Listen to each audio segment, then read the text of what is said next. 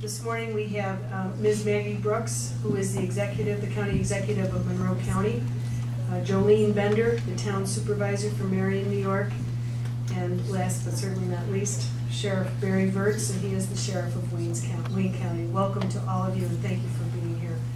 As is uh, the rule of the Oversight Committee, that we will swear you in, would you please stand?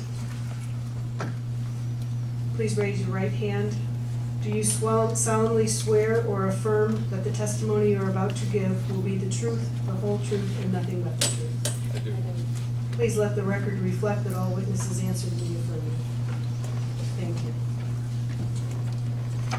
We are very pleased to have you here this morning um, to conclude our third panel of testimony regarding how the government, the federal government, with its uh, whole host of regulations gets in the way of success. We've heard from industries, both small businesses as well as the agricultural industry, and now it's our pleasure to welcome all of you to speak about municipalities and what the federal government is doing to impede your success as, as well as affect the cost of doing businesses in uh, your municipalities and in the county. So with that, I will start with uh, Ms. Bender. Thank you. Uh, Greetings, Congresswoman Buerkle, members of the Committee on Oversight, Government and Reform, and guests. My name is Jolene Bender, Supervisor, Town of Marion in Wayne County. I appreciate the opportunity to highlight some of the regulatory changes placed upon town and local government by Washington. I would like to state that it is my belief that local government is the government closest to the people. The key to our success at the local level is the expansion of improvements to water lines, wastewater treatment, and highway infrastructure improvements. I appreciate your support which allows local municipalities to build on their existing infrastructure. We cannot build on the opportunity to create jobs or enhance the movement of persons into, the movement of per- persons into our communities without improvements to our basic infrastructure. Some of the issues that I've faced with regards to water district expansion and extension are often co-funding by one, more than one funding agency is necessary to make the project affordable. However, the funding agencies do not seem to work together to facilitate the co-funding. Each agency has a different requirements for their application packages. Consequently, municipalities are forced to prepare and submit separate application packages to each agency, which unreasonably adds costs and prolongs the application process. Next, each agency interprets the National Environmental Policy Act, the NEPA, program requirements differently. Consequently, each agency requires separate NEPA reviews which differ from each other. Rather than confusion, these funding agencies should, if possible, accept one NEPA standard for all sources of federal funding. Why you can't have one simple standard that all, why can't you have one simple standard that all federal agencies can share and adhere to? Federal funding agency often require the commitment of other funding agency for a co-funded project. But when a town does not have that seed money to make a commitment before it is funded, that makes it difficult to obtain funding commitment from other agencies. No one wants to be the first to make a commitment towards a project. Funding agencies change their applications requirement frequently, and their requests for information needed to be submitted. They often make those changes midstream and worse, after a municipality has already submitted its application, or is in the process of trying to prepare one. Frequent changes that lead to extreme confusion and contribute to the delay because the municipalities have to scramble to assemble all those additional documents and all that new information required to satisfy those re- revised requirements. For instance, one recent change that was created, a lot of extra work and that delayed one application was the requirement that towns must now provide con- consumption figures and a head count of residential and non-residential units within the town's existing water and sewer districts before we could be considered for funding. I expect that this helps to show the justification for the money to be spent, but the requirement is just too difficult. Rural Development has also made a recent change in the procedures. It has eliminated the agency's pre-eligi- pre-eligibility determination, the PED, and the funding package estimate which the agency would offer when the full, full application was submitted. This makes it difficult or even impossible for towns to establish water districts when they require the New York State Comptroller's approval. The State Comptroller's Office will not take into consideration, consideration potential funding from rural development unless that agency provides an upfront written estimate of its funding package. As a result, the st- State Comptroller will not approve the formation of those water or sewer districts. This hinders, the- this situation hinders the mun- municipalities in their attempts to create water district, and it al- also prevents them from garnering bonus points for the project's readiness, which can improve the competitiveness of the project and improves the chances of that project being funded sooner. For me personally, my town of Marion has a wastewater treatment plant problem. The EPA, EPA and the DEC are mo- moving towards stricter limits on discharge water quality, which may force us to build a new wastewater treatment plant.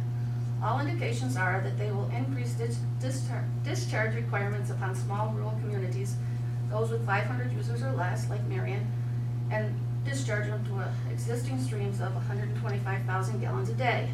This will result in a dra- a drastic increase in cost of, of compliance, which then has to be passed on to my community as user fees, which they can't afford. The town of Marion is one such community where increased user fees would result in renovating, upgrading, and replacing, replacing existing wastewater treatment facilities to meet those higher dis- discharge standards and requirements. However, those higher standards do not seem to be required nor justified. It would be more prudent to study the present impact on the existing water qualities prior to discharge and af- after the discharge. To determine if water quality is actually being adversely affected by the discharge. If water quality is not being as adversely affected, is operated, then the burden placed upon the small communities to meet the unnecessary stricter limits appears to be unreasonable, especially during these more difficult economic times.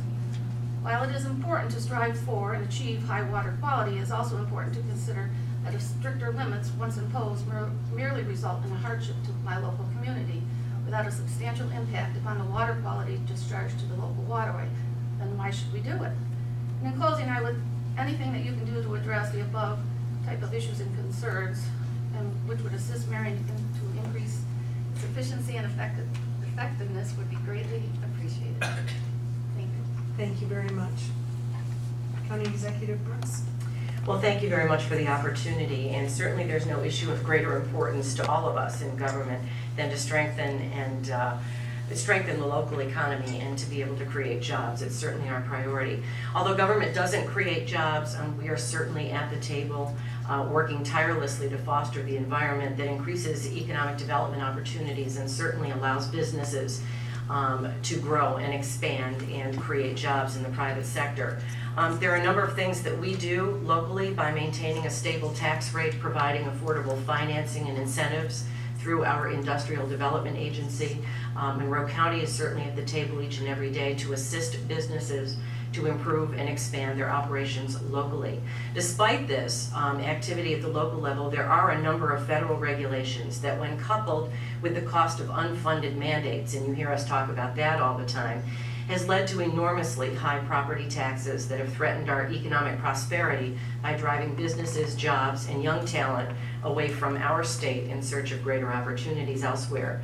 Um, certain federal regulations have grown increasingly detrimental to the small to mid-sized companies that have become this region's economic bread and butter. For example, the Federal Funding Accountability and Transparency Act of 2006 and 2008 hinders small businesses looking to become subcontractors on large federal contracts because it's not cost effective for them. Federal reporting requirements are the same for a prime contractor who has a multi-million dollar contract as it is for a small contractor who's doing $25,000 worth of the work. These reporting requirements for small businesses include salaries and bonuses of officers, pension values, specifics on compensation in excess of $10,000. This rule highly discourages small business from bidding and securing subcontracts on federal projects as the cost of monitoring and reporting outweighs the profit. Another impediment to local economic development in Monroe County is a requirement under the U.S. Small Business Administration 504 program. The 504 program is widely used in this community. It requires that one job be created for every $65,000 in federal funds borrowed.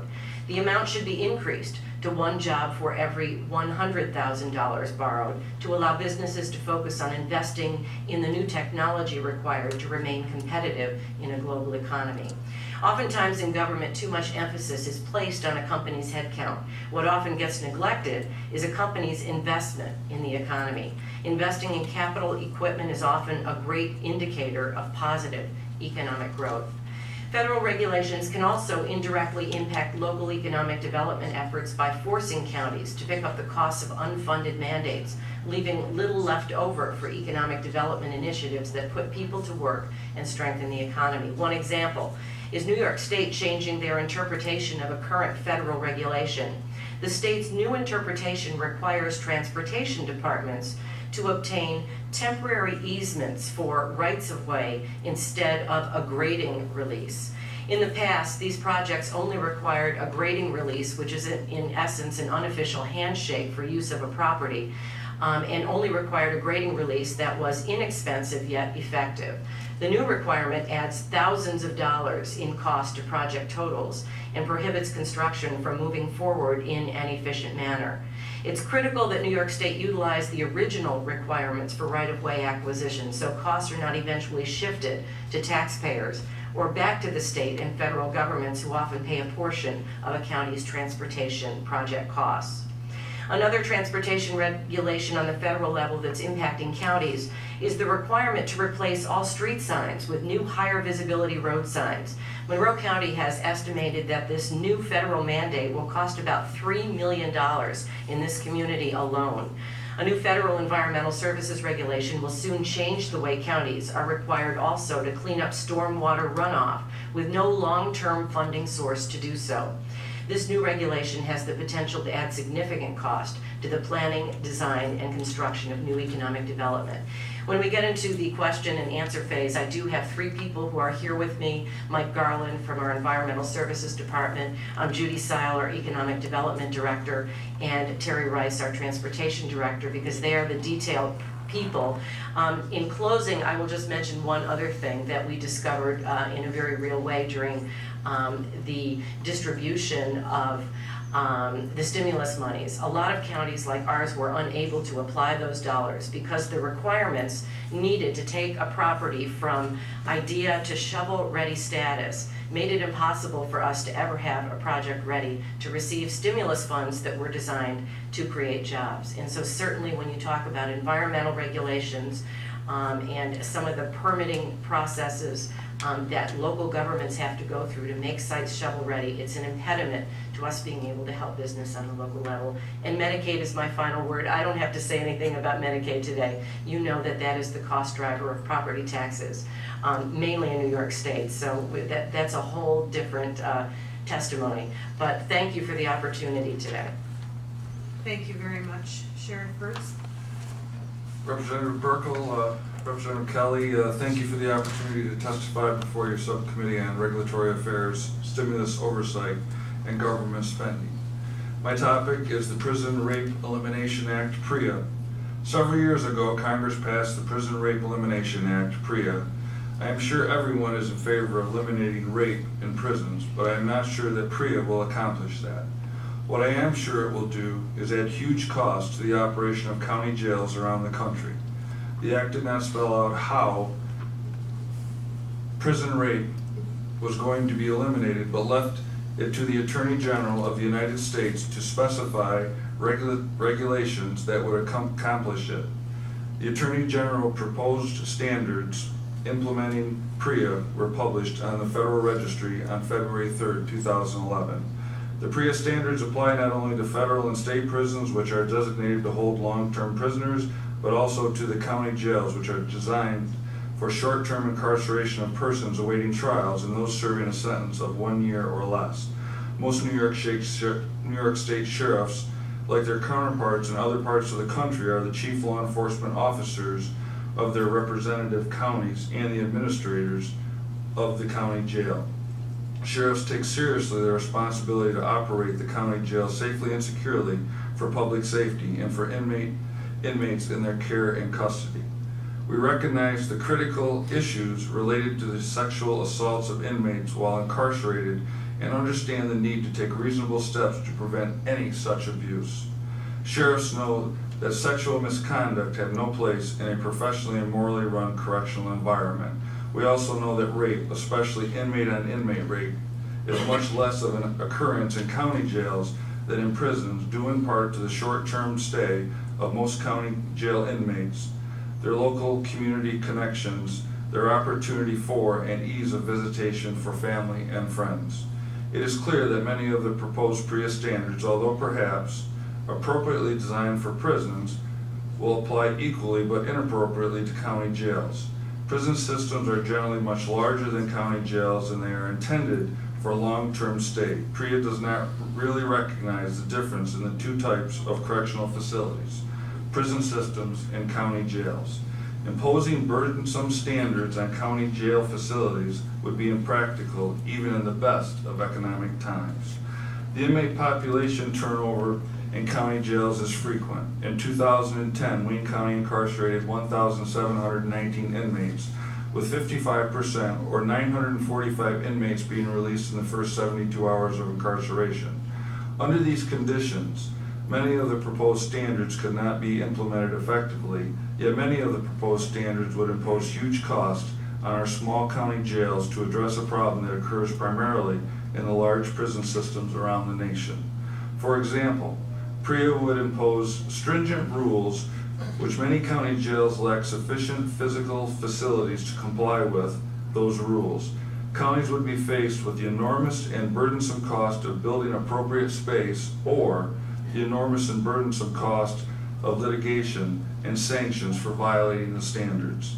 The proposed standards which require each jail to collect and report de- detailed data and to hire an independent auditor to accept uh, jails uh, uh, compliance with PREA, most jails, certainly all New York State County jails, already have detailed data collection and reporting obligations to their state oversight agency, in our case, the New York State Commission of Corrections. Adding a federal layer of audit will only add a financial, a financial burden and will create conflicting obligations between state and federal mandates. Again, all sheriffs recognize that inmates should be free from sexual assault while incarcerated. Washington should not presume that sheriffs will not do the right thing unless they are mandated in minute detail by a Washington rule. Congress should not leave it to a federal agency to determine how a sheriff can best accomplish his or her obligation to operate a safe, secure, and humane county jail facility. The safety, security, and good working order of a county jail is best determined on a state and county level, with the sheriff administering his or her county jail, not Washington's one-size-fits-all regulations. Thank you, Sheriff Virts, and thank you all three of our panelists this morning. I will begin by yielding myself uh, five minutes, and I have questions for each one of the panelists. Um, Ms. Bender, I'd like to start with you. You mentioned the EPA imposing stricter standards on water quality. Do you, was it just an arbitrary, how did that come to be, and what, what is the stricter standard, and how will that impact you? I'm not really sure how it came to be, but about a year and a half ago, the town of Marion asked our engineers to do a study about our wastewater treatment plant. It's approximately thirty years old, as is most wastewater treatment plant- plants in the rural upstate New York are probably in state. So we thought we were being proactive and, and asking for an engineering study to see what in the future was gonna have to be done. Um, they did the report. The result was we probably are going to have to invest five point four million dollars to, um, make improvements to our wastewater treatment plant. The problem is, we have approximately five hundred users to that plant, and the cost to those users is gonna be astronomical. We can't afford it. We, our wastewater treatment plant, little plug, um, operator was just named wastewater treatment plant operator of the year, so he knows what he's doing. And, um, we feel that the water that we're discharging after it goes through the cycle is as clean as the water coming into the plant. So we don't understand why DEC via the EPA are saying that we have to make improvements to our plant to that extent. And so that five point four million dollars, that increase in cost would be because you're complying with this Correct. standard, but as We, we know probably some improvements need to be made, we don't believe they need to be made to that extent. So, and, and it, is happening across the region that, that DEC and EPA are looking at these plants, probably justifiably so, but we would love to do it, we just can't afford it, so. The other issue I wanted to ask you about was the co-funding issue. Can you, that was sort of a a generic, the co-funding problem, but can, is that a specific issue with you? Is that some, one instance that where this happened, or what were the agencies involved, and what were the problems? I- first I'd like to say the agencies that we worked with, you know, the people are wonderful, but, um, a few years ago, well, about ten years ago, Marion seriously started looking into, um, extension of water districts and expansions, simply because probably only at that point a quarter of our town was covered by municipal water, and people were rightfully so demanding the water. So we started looking into it, and we got one or two projects done through rural development, and then maybe five or six years ago, um, co-funding was like the thing you were supposed to do, so we would look at co-funding with rural development in small cities. And they, they both ex- expect different information out of us via the dual applications. And of course, that would take twice the time, it would cost the town twice the money to have the engineers and, um, administrators do all that work. So we found it very difficult, um, we were fortunate enough to get one program funding, but the reason, one of the main reasons that was probably funded is it was a joint municipal project with another town, and they, between the co-funding and the joint municipal work, that was very favorable. But it was a lot of work, from the time we actually start looking at one of these projects to the time we begin getting it into the ground, it's at least two years. And People, you know, on a weekly basis are calling my office, they want municipal water. We wanna get it to them, but it's a difficult process. Thank you. County Executive Brooks, um, there's so many things I could ask you about from your testimony this morning. I think uh, you mentioned about uh, expanding and the uh, importance of um, the 504 program where you talk about it should be raised from 60,000 to 100,000.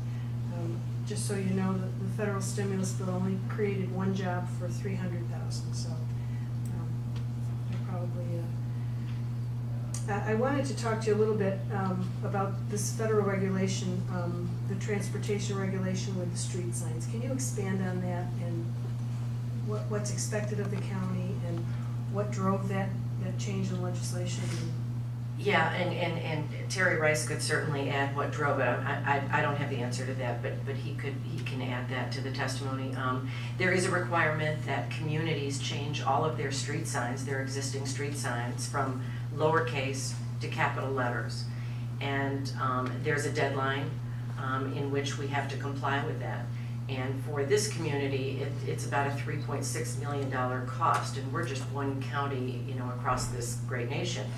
And what we propose as an alternative is that, you know, what local communities manage um, the condition of their street signs. And as we go out and make changes to those street signs, as we have to do, we can certainly comply with the federal requirement. Um, but to just say, let's go out and replace signs, some of which are very new, um, just doesn't make sense to me. And, and, and it really is, I think, when we look at um, some of the, the poster child examples of, you know, mandates that don't make sense, to me, that, that is a glaring one, because it, it, it- it's just a waste of money and, and three million dollars that we could put to good use elsewhere. Um, I know that, and, and, and again, Terry could probably add to this, that there were some, um, thought that, um, you know, people couldn't see the signs, um, you know, as the population ages, and our eyesight, you know, all the, all, the all the reasons that, that really just don't make sense. It- It's kind of an excuse to go out there and replace all these signs when we don't need to. And, and so we, we have struggled with how we're gonna pay for it, quite honestly. So the county would fund the sign replacement? We would have to pay for the sign replacement. And in Monroe County, we are, we are the, uh, the, the traffic department for the city of Rochester and all nineteen towns and villages, and so, you know, this is, this is quite an endeavor, And, and basically, it's just that from lower caps to? to capital letters. And, and more reflectivity, I know there's some reflectivity requirements as well. And, and, you know, some of, the- I, I I think within the, the mandate, there's probably some valuable um, rationale. Um, but, but to just say, you have to do it now, let us figure, you know, say, this is what we'd like, here's the goal. Let the local communities figure out how we get there and how we manage the resources to pay for it. Thank you. While we have the opportunity, I would be interested, I know Medicaid is such a significant issue for the counties and what it does to your property taxes. Um, With regards to, um, and I digress just a little bit, the block, does it help or does it make, not make a difference with, um, if we talk about Medicaid being a block, block, block grant funding to the state rather than the way it is now um, in the proposed budget, in Paul Ryan's budget, does that help the, the county? Does it impact on you at all? Does it, it- It depends again, uh, you know, we're so reliant on the state, um, and, and, and and one of our frustrations is in New York State, the counties pay for twenty-five percent of the program, and I believe there are only two states left where the counties actually have a financial stake in the Medicaid program. But we are very reliant, one hundred percent reliant on the state making the decisions, and, you know, I'm a big believer that uh, the cost of a program needs to reside with, with the level of government that has the authority, decision-making authority over it. And, and obviously, we're working with the state to try and take over Medicaid. Um, it's, um, you know, we have property taxes seventy-nine percent above the national average here. Um, Medicaid is the cost driver. Um, we did a study, uh, my, my colleagues across the state, um, there are nine programs, Medicaid being the largest, that consumes nine programs that consume ninety percent of the county property tax levy statewide. So take everything we collect, ninety percent of that is paying for nine programs, and Medicaid is, is the largest. Um, I, I, I really, that's not a direct answer to your question, because we don't know, um, what that would look like. Um, but to the extent that the counties have to bear such a, a, a big portion of that, um, program, it's certainly of concern to us, and we aren't always involved in, in that conversation. Um, here in Monroe County, we've spent three hundred and fifteen million dollars on Medicaid since two thousand nine. So it, it, it's a growing problem. I spent fifteen months on the Federal Medicaid Commission, and a lot of smart people around that table, myself excluded, um, but a lot of smart people working on how, how we can um, rein in a program that's lived well beyond its means, and certainly, um, you know, the federal aspect of it, um, you know, it's become um, a universal health care program, not just in New York State, but across this country. And we've medicated everybody that doesn't have insurance or, or who is underinsured. And, and, you know, if you really want to talk about taxpayer burden, that, that's, again, probably a whole different session, but um, clearly a concern here in New York State. Thank you very much. Sheriff Virts, just briefly, and I know I've gone over my five minutes. The gentleman You're from in charge, I'm I'm fine with that. So, uh, I'm fine with that. will yield. Um, This PREA, just, um, is there a date um, that the Attorney General's office, a date for compliance? that you must Uh, not that I've seen about? yet for the New York State Sheriff's Association. Uh, we've got a committee, uh, statewide. Uh, I know Sheriff O'Flynn here in, uh, Monroe County also has a representative, as I do from my office. Uh, but we have not, uh, heard when it would be imposed. Uh, a facility like Monroe County, the house is about somewhere between twelve and fourteen hundred inmates a day, could possibly have to put two, three, or four employees on. I would be forced to put a full-time employee on to interview every inmate that came through. Uh, I already have seventy officers and hundred and forty inmates today in the facility. I think it's burdensome because of the programs that we've built, uh, since two thousand. Uh, also, all the regular, uh, audits that we have done. I have a federal team that comes in every January that's there for a week, five people for a week. I have the State Commission of Corrections that comes in two or three days, twice a year. The Department of Health comes in and inspects. Uh, the Department of Education comes in because jails have to, uh, provide education to sixteen to twenty years olds for three hours a day. So we basically have schools in our jails. Uh, plus, we're very open in our visitation, uh, contact with family and friends. I just think, again, prisons and jails are two completely different systems and house two completely different type of people. Ninety-five percent of inmates in the Wayne County Jail, and it'd probably be parallel across the state, are released back to the same people, places, and things, their towns and villages. Only five percent go to state prison. In our application, that's only about eighty people out of the seventeen hundred will go to state prison. So we're talking about a different level of inmate.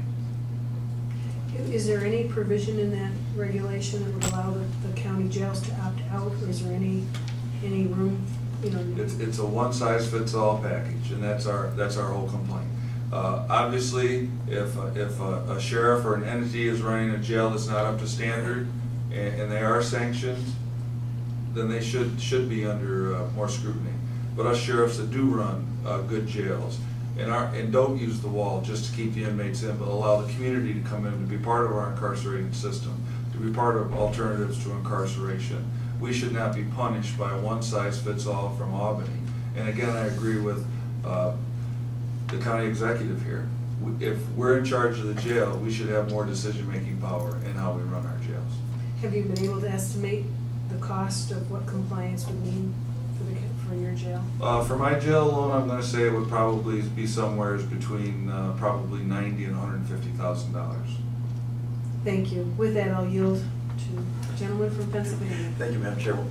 Uh. Ms. Bender and Ms. Brooks, uh, I come from a, a community that has a similar problem to yours when it comes to the DEP and uh, with water runoff. And a lot of the homes were built, were built in the early part uh, of the, the century and and beyond, but wastewater and stormwater. And there's, in a lot of cases, we're seeing where when these folks built those homes, a lot of their, their, their downspouts were connected to storm sewers and wastewater was connected. So now, when there's a heavy rain, uh, there's a flooding uh, situation that's caused, and, and I know the DEP has, has placed my town in, in a very difficult position because we're talking about a major overhaul of our whole sewage system stormwater, wastewater, and the implications of that.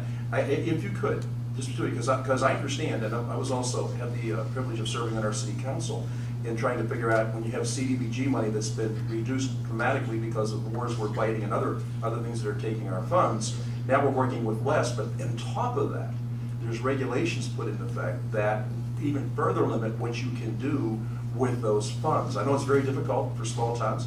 If you could just, as a matter of, of just enlightening, the public doesn't understand, I don't think, the effects of this, and especially when you start getting your sewage bills, how much they're gonna be, how much they're gonna go up, and then our inability to fix some, some problems that we have either on our sidewalks or our streets in our towns because of the, first of all, the reduced limit of CDBG funding, and then again, the restrictions put in place that really limit what you can do with those funds. So if you just, just briefly, and I don't if you can be brief on this, and oh, by the way, Ms. Brooks, I, I think you're being very kind by thinking that these people mean well.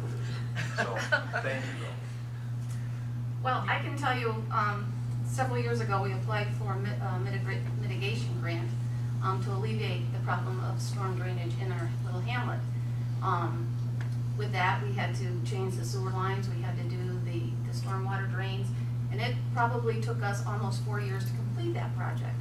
Um, I went to a seminar before one of the projects began, and they said, the first thing you need to do is buy a four-drawer cabinet, because by the time we get this project done, it's going to be full.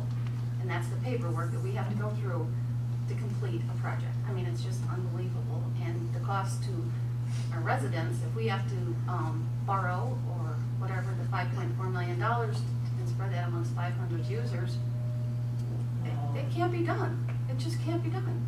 Um, we have another project that we're gonna do that kinda ties into that, is recently by New York State DOT, we were awarded a million dollars to remove and replace the sidewalks in our hamlet. It was a, I think it was a seventy-thirty grant, seventy percent from the state, 30 percent from the municipality. Feel that that project's probably gonna cost these same homeowners another another hundred dollars on their tax bill every year. Our sidewalks you cannot use, the elderly cannot walk on them, you can't push a baby buggy, they're terrible. We want those sidewalks put in, and then EPA and the DEC came in and said, well, wait a minute, you've gotta fix your wastewater treatment plant. So we're looking at this five point four million dollar bill.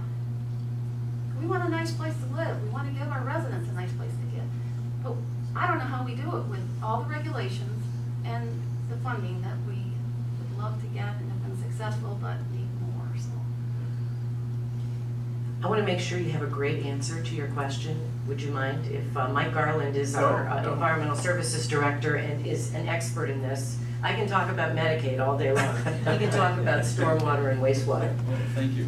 Um, In in Monroe County, uh, we have the Pure Waters Program to address wastewater on a- on a virtually a countywide basis. Um, In the city of Rochester, we have a combined sewer system, and so when you talk about stormwater and wastewater flowing in the same pipe, uh, it creates challenges. Uh, In Monroe County, we had the foresight, um, beginning roughly 40 years ago, to consolidate um, relatively discrete wastewater treatment plants, but also to take advantage of federal dollars that were available to uh, mitigate overflows of combined sewers into the Genesee River and into Irondequoit Bay. So we have a system in place uh, in our city uh, to deal with that. Uh, Our Pure Waters program is a special taxing district, so we are able to raise revenues to address uh, those issues.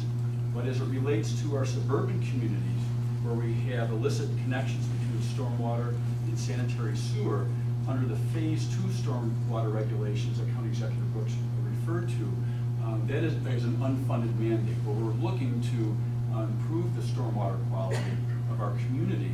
Uh, It's a program that came out of the the Clean Water Act, the same act that uh, promulgated regulations associated with wastewater, is now addressing stormwater. And while we understand the environmental merit and benefit of addressing stormwater, um, it is, once again, an unfunded mandate uh, for our community, both in the public sector as well as private sector. And I think that's the part that the public doesn't often see. Because I, my understanding is, is the wastewater program to start, with really was to protect the quality of, of groundwater. I mean, it was to protect that. And we've gotten from a situation that was a, a concern for public health to a concern of, of public spending. And I don't know how in the world uh, we continue to put mandates on people.